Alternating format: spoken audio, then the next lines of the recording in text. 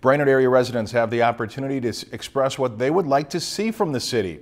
The Brainerd City Planner created a survey to find out what citizens think of the city and what direction they think the city is moving. The surveys ask citizens what they like about the city, what needs to change, what they think Brainerd will look like in 10 years, and what would keep the city from looking that way. And the information will be given to the City Council, a report will be made, and it will be up to them on how they decide to use, to use it. But it will be a good snapshot, if you will, of the community's feelings now in 2012 about our, about our community.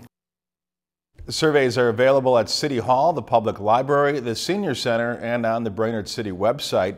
Citizens who live outside of Brainerd are welcome to contribute. If you've enjoyed this segment of Lakeland News, please consider making a tax-deductible contribution to Lakeland Public Television.